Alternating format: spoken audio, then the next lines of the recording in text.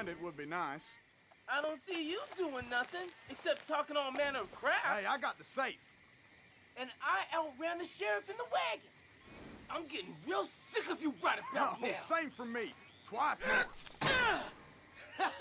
Oh, yes. See? Well, look at I that. told you. Huh. Well, it took you long enough. Jesus. Yee-hoo! Oh, what do we got here? Hmm. Oh, shit. Bad haul.